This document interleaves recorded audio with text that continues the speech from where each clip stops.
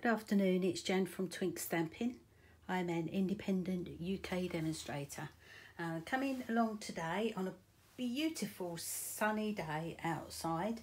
Um, blue skies, wall to wall, absolutely gorgeous. I wish it was like this all the time, uh, not too hot. Anyway, um, I've come along today to um, show you a little um, gift bag that I've made. Um, the reason I've made it is because I've got several of these little um, uh, bath salt uh, gifts um, that I wanted to um, send to a few ladies as a little thank you. Um, yeah, and I didn't want to just send it out like this. I wanted to actually make something pretty for it to go in. So what I've made let me pop it in there so that you can see, is this. It's a little pocket envelope and I've popped the sorts in there. So today I thought I would show you how to construct one of these envelopes. Um, yeah, I haven't really decorated it very much because there's quite a lot going on on the papers. Um, I've just cut out some um, scallop circle, um, a plain circle and then a stitched circle. Um, cut out a little butterfly and added some ribbon. Beautiful ribbon. Love this one. Okay, so I'm going to show you, the, the, the whole point of the video really was to show you how to make this envelope. Um, so very, very simple and it really is great for little gifts um, using a 12 by 12 sheet of um, you can use 12 by 12 of card, uh, but I've actually chosen to use um, the DSP. Uh, it's quite strong, not all quite thick, should I say. Um, it's suit more than suitable for this. And obviously you can use whatever papers you like. So I'm going to crack on and show you how to put this together. So you're going to need a 12 by 12 sheet of uh, DSP in whatever colours and things that you like. Bear in mind, please, that if you have um, a directional piece of DSP, then you need to watch out when you're doing your cutting. Okay, this is directional. Now, I know that I want the envelope to be like that. So, my first measurement, because it is 12 inches, the, the measurement you're going to need is 12 inches by 8 and a quarter inches. So I need to cut to 8 and a quarter inches. Or if you're doing it, um, if you're doing it in centimetres, you need a piece uh, 30.5 by 21 centimetres or 12 by 8 and a quarter inches. Now, scoring with the long, uh, short side at the top, the piece that you're going to use um, as your flap, the this flap, the top one, that is going to be scored at one inch. Now I've moved mine over to the right hand side because it's easier for me, but some of you will obviously start from one inch so you will need to turn your paper round to one inch okay? I just find it easier to use the one inch mark on this side. Score it at one inch and then I'm going to turn it purely because I would have scored there. And then the, the second score is at seven and a half inches. Be careful you don't over score it because you will crack your DSP. Right, so that's your two first um, score lines. Sorry if you were scoring in centimetres, you needed um, the two centimetres on the large flap, or two and, sorry, two and a half centimetres on your large flap, and the second one would have been at 19 centimetres. Then I'm going to turn it and I'm going to score with the long side at the top at three and a half inches. and eight and a half inches.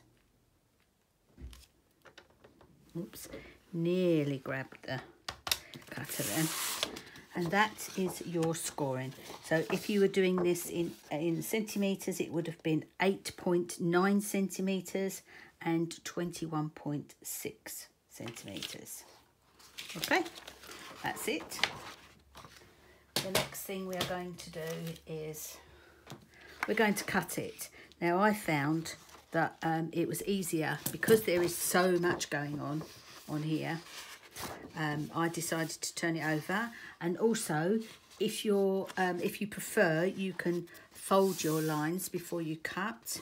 I'm actually going to cut before I fold mine. Um, the other thing what, that I did was I used um, a pencil and I just went round and cut the bits I didn't want. Sorry, I didn't even explain which pieces that you've got to cut off. Right, um, you're going to have a corner here, here, here and here. You've got to take those off, okay? So it's here, here, here and here inside your score lines. Okay, so I'm using my long scissors. Whenever I do anything like this, I like to use a long pair of scissors. Really difficult to see. I might have to bend that one a little bit. Really, really difficult to see on this paper. Maybe should have chosen an easier one to show you how to do it. Uh, just snip that off there. This one.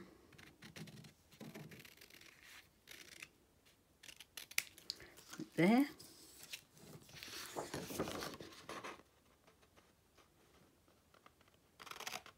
It's a beautiful sunny day today, isn't it?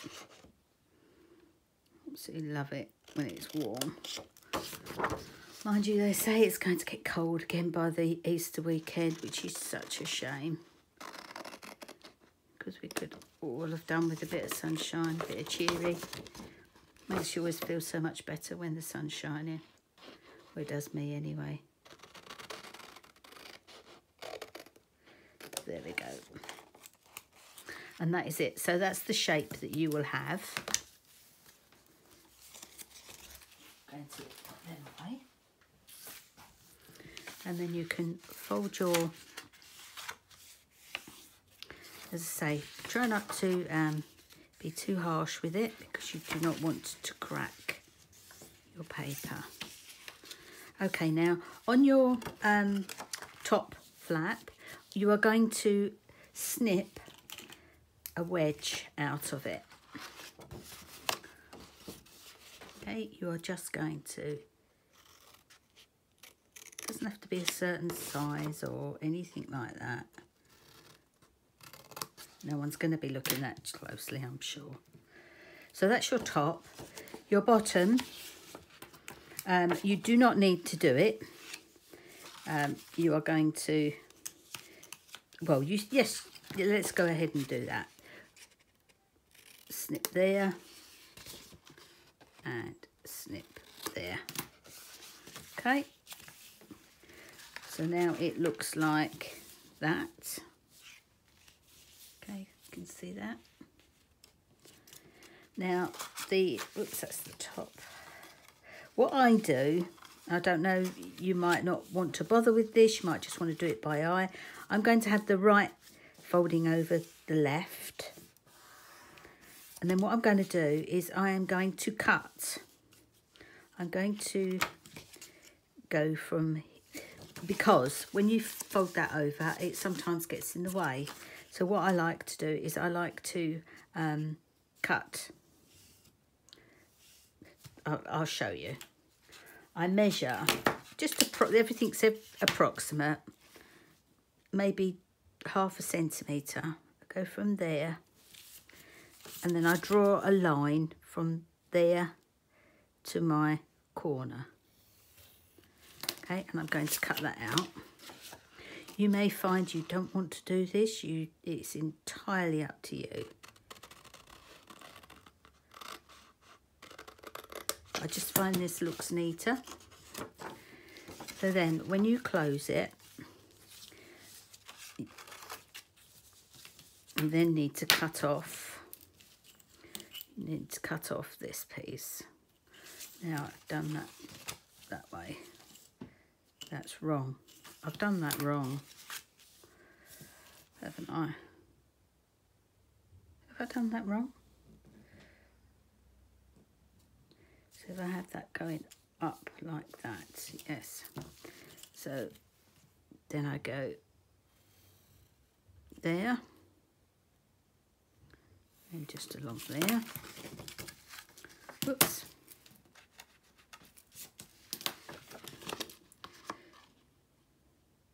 So you may find a much, much easier way to do this. This way to do this. And angle that up there. And when you close that, you've got this nice angle. I thought I'd done it wrong for a minute. I was going to cry because I haven't got any of this lovely paper left. I would have cried. Not had a very good few days. Right. Then all you do is you pop some glue on your top. You just need it along the edge there and just perhaps a little bit on the edge of this one.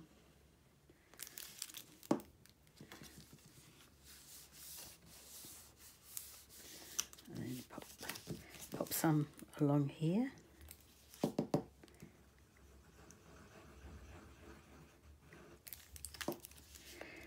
Tombow is absolutely brilliant for things like this because it grabs quickly and it holds. Okay, so there is your pocket. How simple was that? How very simple was that?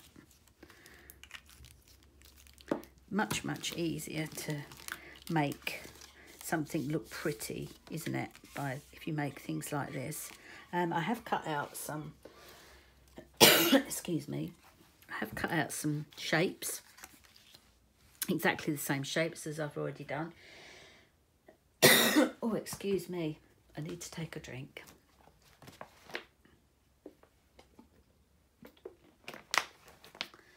So that's it. I should be adding that to that. I'm going to stamp on here and then I've got myself a little butterfly from the um, Butterfly Bijou, which I'm papers, which are unfortunately no longer available. Absolutely gutted that they are no longer available too, because they were very, very popular. Um, as always, sell out the best. So when I say to you, grab it quick, um, that's not just a sales technique, that's just a, if you want it, get it, don't stop and think about it because things do sell really quickly. Okay, I'm not going to do it on there. I'm going to put it here. So I'll show you what um, products I've used. Got, oh no, oh no. May have to do that one again. Ooh, yes, I'm going to have to Sorry, I cannot have that one because that will be covered in glue. I'm going to grab myself some um, more gold foil and I'm going to die cut another one, which is quite good because you'll see me cutting what I need. If I can find what I need, here we go. I'm using my layering circles and I'm just using the second biggest, or is it the third? Third biggest die. And I'm just going to cut some um, out of gold foil, as I say.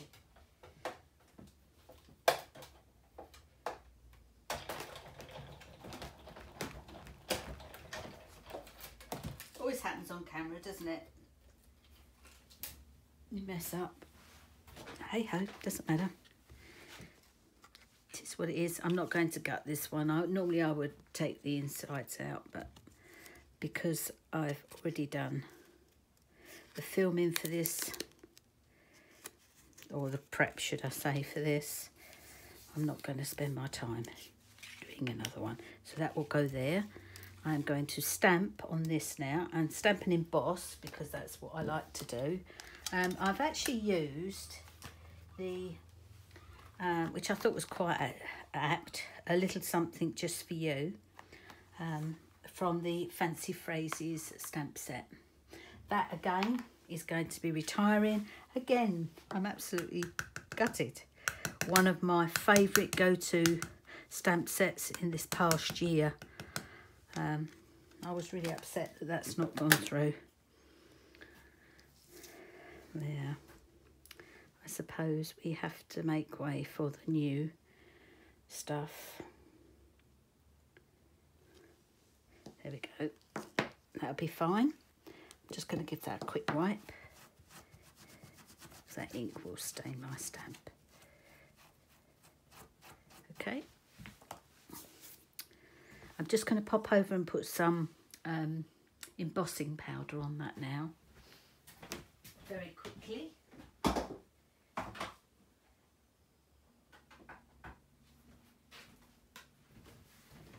And I'm going to definitely use a pair of tweezers today because this can get quite can get quite warm when you're trying to do um, your heat embossing.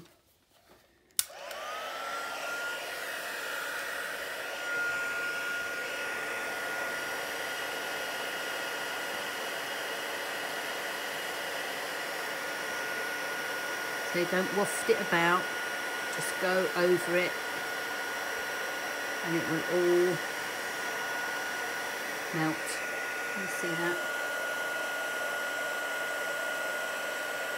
Don't think you can, I'm too close. There we go. Beautiful. Absolutely love the effect of heat embossing.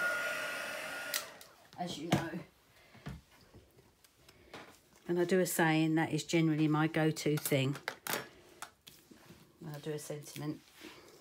I'm going to pop these on, um, pop this on dimensionals. I'm only going to put a couple on there. No need to put lots on. just going to pop a tiny bit of glue on the back of each, just in case I put it somewhere that I don't want it.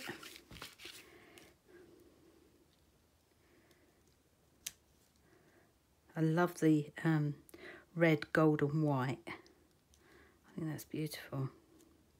I wanted to give it just a little bit of oomph, you know, because like I say, you, you can't really do an awful lot with, well, you could, but I personally wouldn't do a lot with on this paper because it is quite fussy.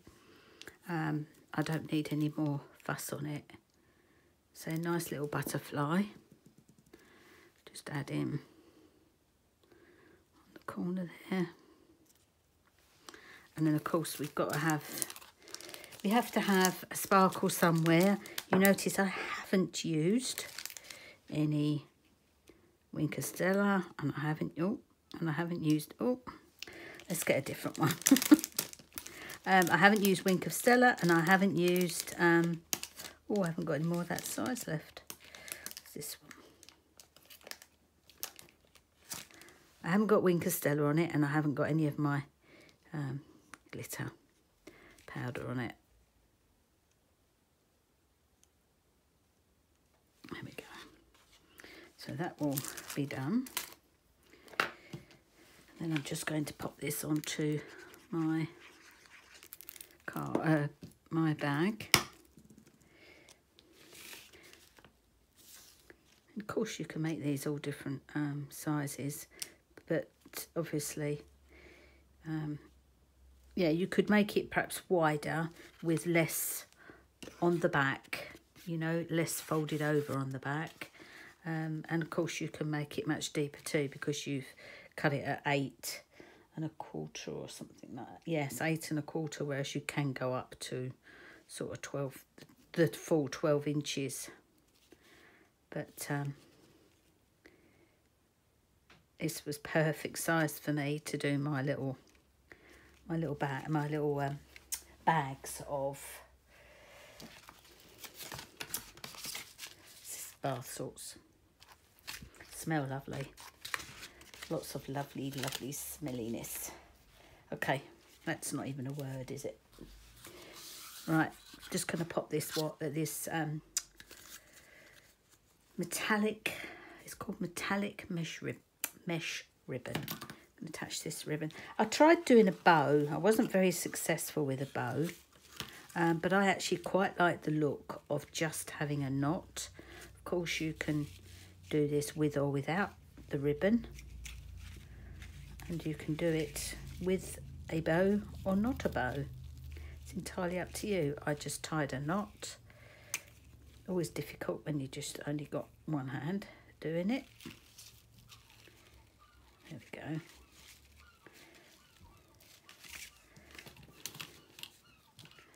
Seagulls are being a bit vocal.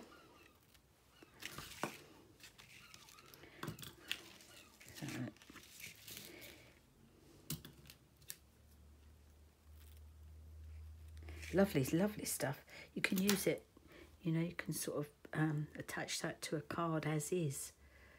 Beautiful. Won't waste any of those bits either. Terrible, really. Was very much a hoarder.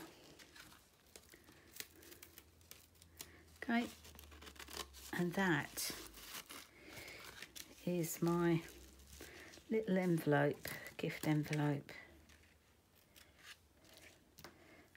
Better?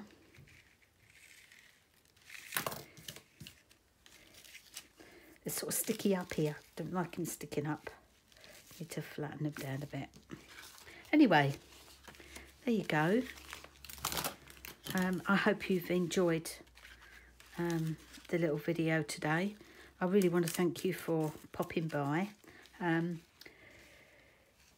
all the details of the products I've used are down below um, in the show more bit, uh, I'll always put um, what I've used and uh, a link to directly to my shop. My shop link is down the bottom there too, along with my blog details um, and anything else that you want to um, have, whatever way you want to contact me, the details are down below. Um, yeah, uh, that's about it and I thank you again for stopping by. Uh, if you like what you've seen today, please give me a thumbs up and subscribe to my channel.